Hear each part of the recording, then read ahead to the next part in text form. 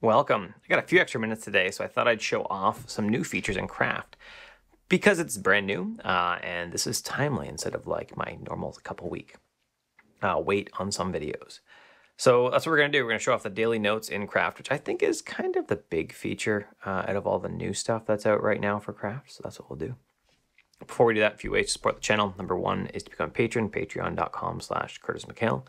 Number two is to take one of my courses. You can go to Skillshare, curtismchale.ca slash Skillshare, take one of my courses, or you can actually find uh, all the links to them below. Zettelkasten is probably the one you might be interested in if you're watching Craft. That's it. Let's buckle up and look at the new Daily Notes feature in Craft.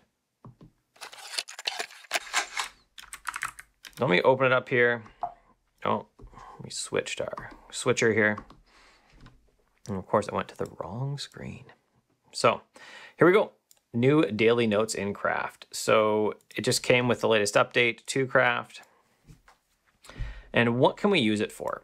So one thing you could use it for is you could use it for meeting notes. So if I have a meeting today, right, I can actually link to the meeting. I can go right in here and I could talk about my meeting notes my meeting notes on this specific meeting. It shows me my notes for my calendar. So this actually links to my draft. So the drafts document that I have for uh, today, this should open it up in drafts for me. Yep, open it up in drafts. That's excellent. That's probably the biggest thing that I find is useful with the latest update to um, Craft with the daily notes um, right, you access it by going to the bottom here, go to my regular notes, my daily notes. You can see I can turn off and on calendars based on what I want. Uh, that's really the biggest thing. Now, the other thing you can see in here is that I have a to-do item, right, thing one. But if I go back, you can see that I have an overdue one, but there's no way to pull them forward at all. There's no queries. There's no, there's no way for me to deal with that. So it's okay in that respect, but I would say it's not spectacular. Um, now, you can't do that with Obsidian either in your daily notes. You can't really pull tasks forward unless you're using a special custom query, something like that, to let you know if you're using something like Slated, which is a community plugin, then there you can actually um, move a task forward manually, but you have to actually, you do have to go back to the day. So just like this, I'd have to go back to the day and I would have to move this somehow, right? I might be able to, how can I do that? Copy it. Right, I can copy and maybe paste it into a future day. Paste. No, didn't even paste um, because I probably didn't highlight it. So if I went to here, uh, now can I copy? Copy and paste it into day, this one. There you go. So now I can do it. So it's a copy and paste operation. It's a little smoother in Obsidian than it is here.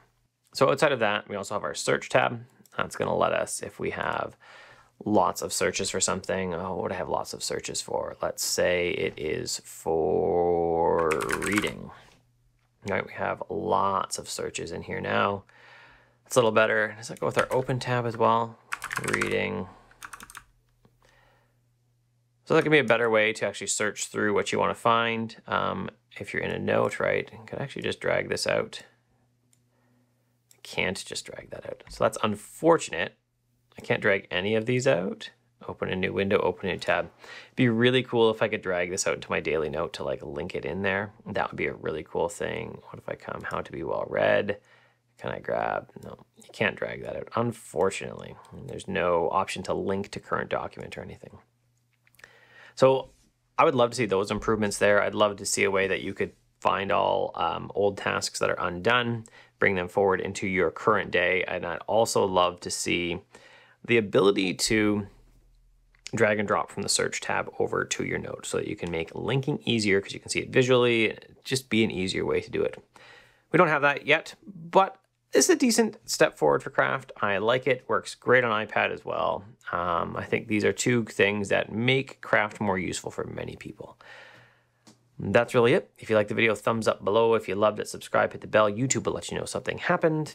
Uh, you can take my courses uh, on Zettelkasten, link below, or if you can go to curtismchale.ca slash Skillshare, you will get a uh, notification, or notification, you can go take a course there from me, or become a patron, patreon.com slash curtismchale.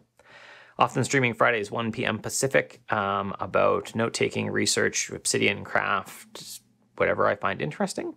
And have a Discord channel which will be linked below. Have an excellent day.